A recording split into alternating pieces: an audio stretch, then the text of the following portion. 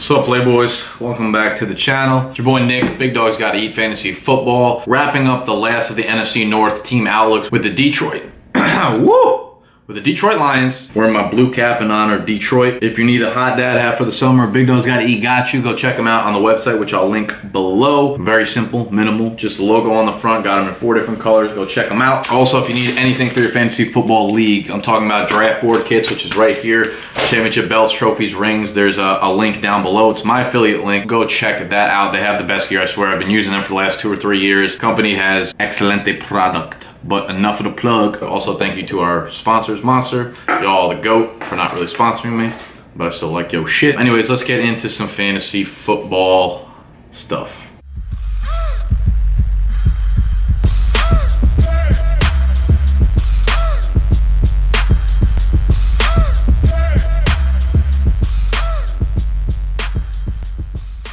We gotta kick it off with Matt Stafford. When you look at Stafford, a lot of people go pretty big on him year in and year out, and it's because he had that 41 touchdown year back in the day, right? He hasn't been able to come close to that number since. However, he's a really high floor fantasy quarterback. He's he's thrown for 4,200 passing yards each of the last six seasons. I'm not going to go fact check that, but if I had to bet, I don't think any other quarterback has done that if you consider injuries and things like that, which factor into fantasy. Very high floor quarterback. I do think their offense is evolving a little bit, right? He had an average depth of target Uh, 6.9 in 2015, shot up a full yard to 7.9 in 2016, probably because he had the additions of a guy like Marvin Jones. That being said, it's still 25th in the league, so they are not a high flying offense yet. I'm not sure they ever will be, at least under Jim Bob Cooter. However, he did finish last season as quarterback seven in fantasy overall, and that was behind Football Outsiders' 18th ranked pass blocking line, so not a good line. They went out and signed TJ Lang and Ricky Wagner to shore up that line. Both players finished in Pro Football Focus's top 10 ranking of pass blocking and top 20 overall. However, I was really excited about that because I thought I, I thought that little nugget of, of them signing these these guys, it would be the best offensive line that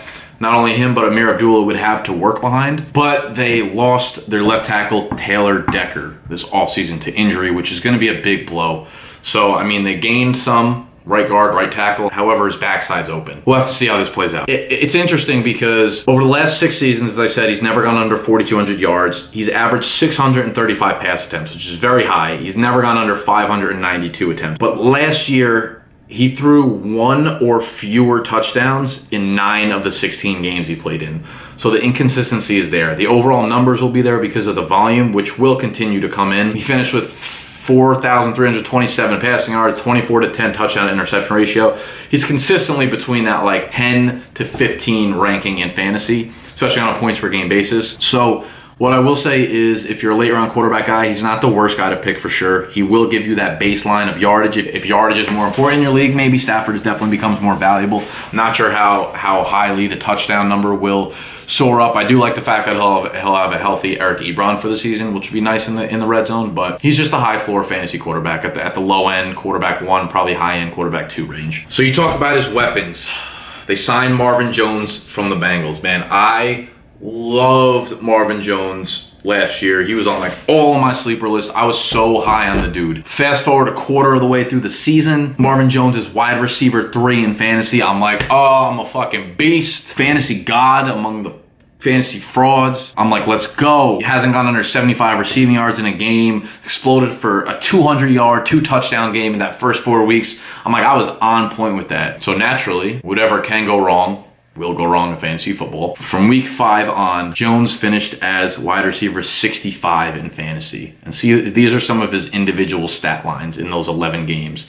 Two catches, 10 yards, one catch, five yards, one catch, 15 yards, one catch, 16 yards. It's pretty clear that he can't be a wide receiver one. Sorry, I'm pulling up his ADP because I write these articles before I actually make the videos. So I want to make sure I have the most up-to-date ADPs when I do these. So Marvin Jones is currently going as 116th overall around wide receiver 45, 46. So what I will say is I think there's value there for Marvin Jones. I think he is a pretty easy bet to have around 90 to 100 targets, maybe more. Because remember, this offense does throw a shitload. Marvin Jones had 103 targets last year. So I think he could definitely match that number. I just don't think the consistency will be there enough for him to hit anything more than wide receiver four numbers. In PPR formats, he actually finished lower at wide receiver 42 than his teammate Anquan Boldin, who finished at wide receiver 41. Now, Boldin's not really expected to return to the team. He's sitting out. He said he doesn't really want to return to a team until like training camp, which is, you know, he, he he's an old dude, bro. This could be big news because Anquan Boldin, one, two, three, four, five, six, seven, eight, nine,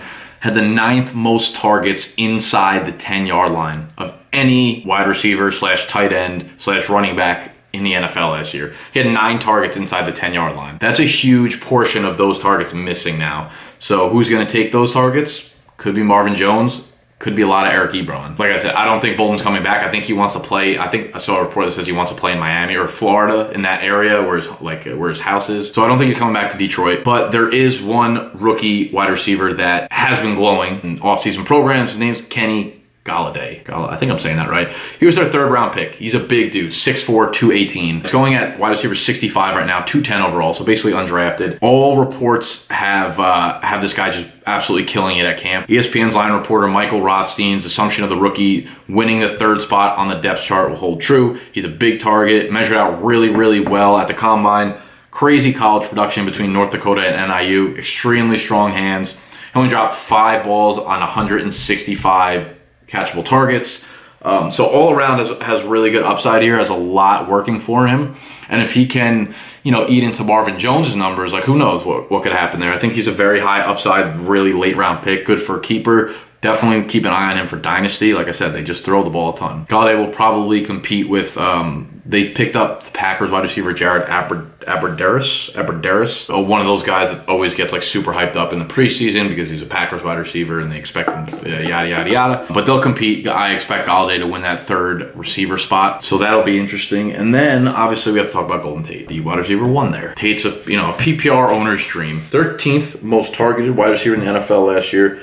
He's gone over 90 catches for the third straight year. Went over 1,000 yards, averaged over nine targets a game over their final 11 games. He's not involved in the in the red zone near the end zone, which is always a big hit. But who knows now with Boldin gone? Uh, Boldin ran a lot of those over the middle routes. Golden Tate might take over some of those, but his floor is just super safe. You could easily compare a Golden Tate to a Jarvis Landry. Both guys catch a ton of balls. What I like is that there's not much that has changed in this offense for Tate except for Boldin's being gone. For Jarvis Landry, you have his numbers dipped really heavily over the end of the year because Ajayi was getting way more involved, and now they add Julius Thomas to the mix. So it's kind of Jarvis Landry going this way, Golden Tate going up. He's 28 years old. He's still young. Him going at wide receiver 24 in PPR leagues right now, that's his ADP, is just out of control because he's finished as wide receiver 17 last year, finished as 24 in 2015, and as wide receiver 12 in 2014.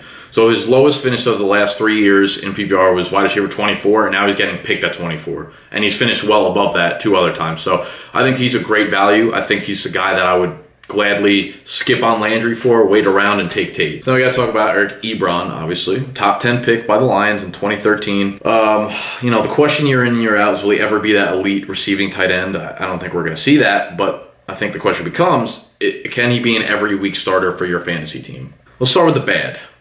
Ebron has yet to play more than 14 games in a season since entering in 2013. Injury risk. In 40 career games, he has just seven touchdowns. In 2014 and in 2016, he had one touchdown in each of those seasons. So he needs to score more. And he needs to stay on the field more. The good news, though, is that his target, receptions, and receiving yards total has gone up. It has increased every single year since he's been in the league. Here's my problem. Since entering the league, since coming into the NFL in 2013, Ebron has nine targets total inside the opponent's 10 yard line. Since entering the league, Eric Ebron has nine total targets inside the opponent's 10 yard line. Yes, that wasn't an editing mistake. I was repeating for emphasis. For a big tight end, you can't get it doesn't get done like that. Anquan Boldin had that many just last season, and the guy's like 55 years old. So you can make the case year in and year out that this is the year he starts getting more of those targets and his touchdown total rises. And it would make sense this year now that Boldin is gone. Eric Ebron is going into the year healthy as he always is going into the year healthy. He's getting picked at like tight end 11, 12-ish, 105th overall.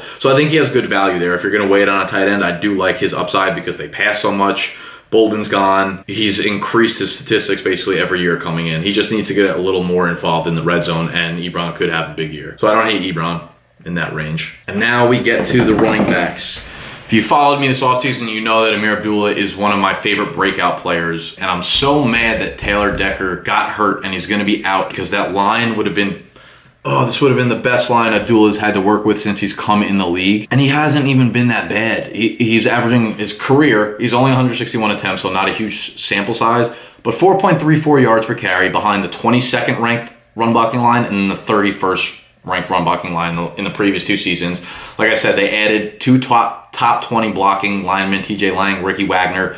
Again, Taylor Decker, ugh, it's a killer. But, you know, I believe in Abdullah's talent. I believe that he's not injury prone. He played all of his games in college. He played 16 full games his rookie season. Just happened to have one injury last season. So I, I know it's a what what have you done for me lately league, but I think that Abdullah still is that guy. I'm not worried about his injuries. And I, I think the line overall will be improved with the addition of two guys, you know, minus one, add two. I don't know if that's how that works. He's just been praised so heavily this offseason. I just think this is the year that everything comes together for Abdullah, and I'm really excited to see uh, how that works. And obviously, you have Theo Riddick there who takes a lot of the passing down work. I don't think he's going to be just spelled out of the offense here. He's not going anywhere. He's still going to be the main pass catching back, but Abdullah is more than athletic enough to, to handle 30 to 35 catches. That's a huge part of their offense is dumping the balls off. So there's a plenty of opportunity to go around for both guys. Even if Riddick still catches 60, Abdullah can catch 35, 40, even 45 passes from the quarterback. So I'm not really worried about that. He gets the early down work. And we're going to have to see how the goal line work splits up because they did just add Matt Asiata. They have Zach Zenner, but I, I think Zach Zenner's talent is irrelevant while Abdullah is healthy. Matt Asiata has obviously been like a goal line back for the majority of his career, so it's possible they use him down there. It definitely makes Abdullah a little bit riskier. But Abdullah is getting picked like 60 overall, uh, running back 21, 22 off the board. It's behind Tevin Coleman, just in front of CJ Anderson. I would easily take him over both guys. I think his upside is through the roof.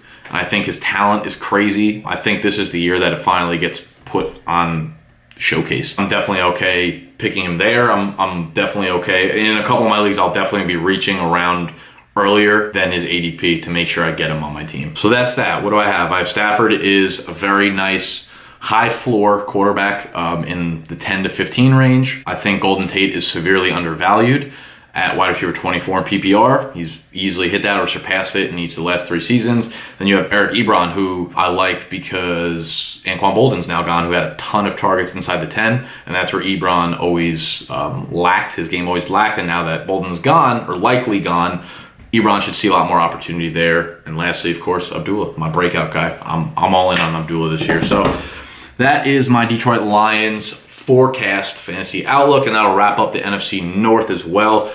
Next, we'll move over to what have we done? NFC East, West, North, and South. Ooh, this should be a good one. Ton of offensive weapons in the South.